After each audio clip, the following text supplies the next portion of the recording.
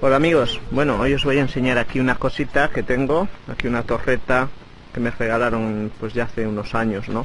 Torreta es esta que veis delante, es una Televes 360 y bueno, aquí tengo tres tramos de 3 metros, en total son 9 metros de, altura para la torre, ¿no?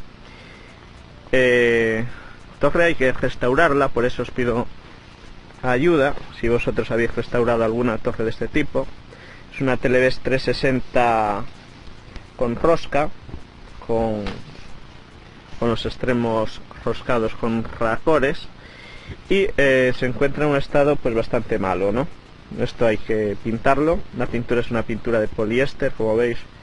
Es una salta y tiene varios puntos donde ya la pintura está en mal estado y me gustaría que me dijerais si tenéis alguna experiencia en restaurar una torre de este tipo eh, pues con qué pintura con qué pintura debería de, arreglarlo y cuáles serían los los pasos hombre supongo que lo primero tendría que lijar eh, la zona de óxido y, echarle algún tipo de producto.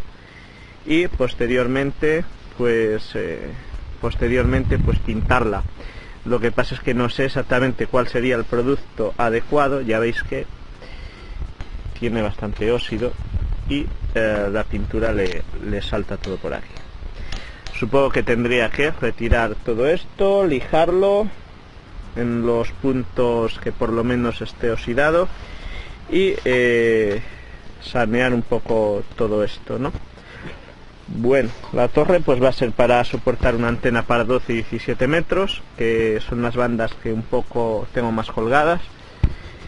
Y bueno, ya veis, son 9 metros de torreta que pues en un futuro espero que, estén operativas aquí en la, en la estación. Ahora mismo pues parado ya desde hace varios años.